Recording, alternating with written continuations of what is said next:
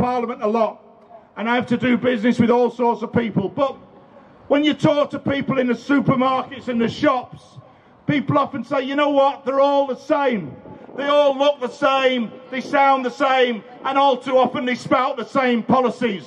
And last summer, Jeremy Corbyn's campaign blew all that apart because what he inspired was hundreds of thousands of people, many of whom had never been involved in politics at all, to get involved for the first time and support his campaign and now support the defence of his campaign.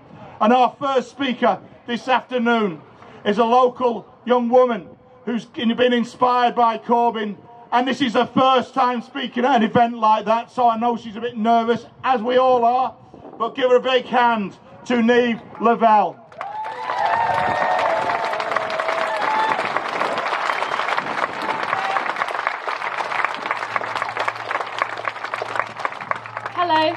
I'm, I'm here today as a young voter who's never had much interest in politics to explain why I choose to vote for Jeremy Corbyn from this day on.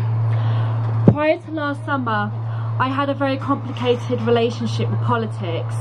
Between the two mainstream parties that were on choice, I felt I should support Labour as I was not comfortable with the values imposed by the Conservative Party. However, I had become disillusioned with politics. The only difference I saw between the two parties were colours, red versus blue. I never saw any true difference between party policies. I knew what I believed in and that was in a fairer and more just society for all.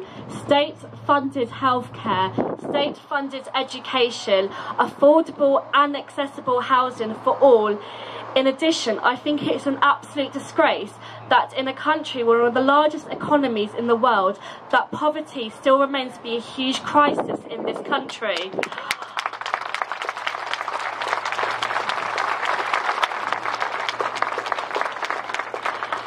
I voted Labour last year, but the only true justification I could do so was, in my opinion, it seemed to be the lesser of two evils.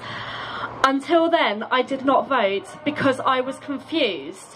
Because my whole life, I feel I've been dictated to by the media. I have been chosen, I've been taught how to think, how to behave, and more importantly, how to vote for which party candidates.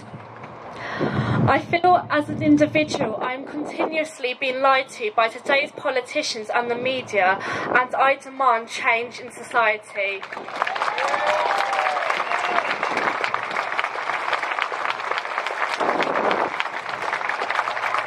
When Jeremy Corbyn came forward last year to cast his nomination as the Labour leader, for the first time in my life, I a true passion invoked in me.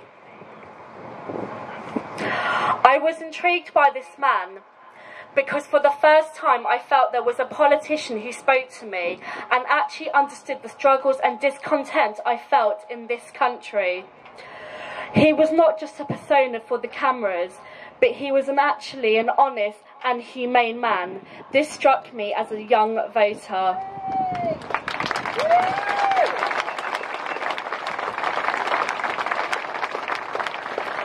I believe Jeremy Corbyn is the only alternative to what, to what is offered by the other parties.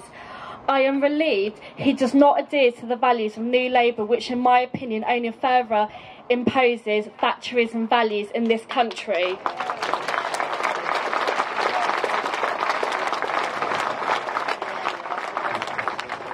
Jeremy Corbyn is a man who gives a voice to many in society who feel they no longer have a voice in today's society. And I know I'm not the only person who feels this, as it's evidenced by the amount of Labour supporters who have joined the party within the last 12 months. As I feel, I feel Jeremy Corbyn is the only hope I have left in this country.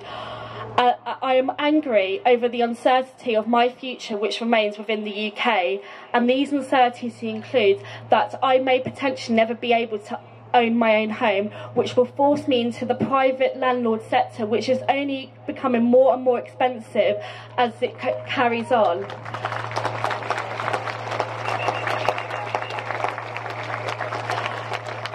I'm getting myself into further debt in order to provide a future for myself, and this all stemmed from when I went to university. I'm fearful over the future of my pensions as I'm unable to provide and save for it as I'm struggling to make a living for myself in today's society.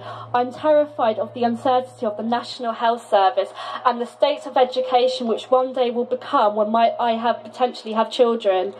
I am terrified of the potential that we may leave the European Union and the potential abol- abolishment of the Human Rights Act, which, in my opinion, is the last form of institution that we can actually hold this government to account.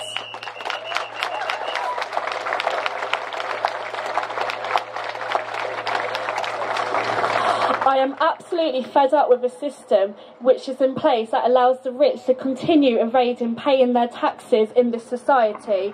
I am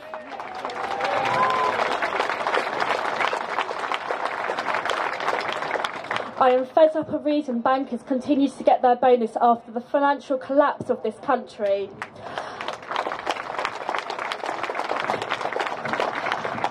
And I am fed up of reading about MPs continuing to abuse their MP expenses claims.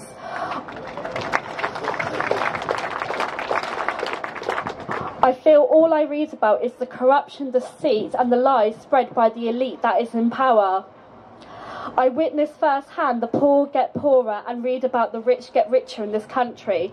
In Milton Keynes, I witness firsthand how the homelessness crisis of this of this Milton Keynes is getting out of control, and how food banks within the last five years have been at a greater demand than ever before.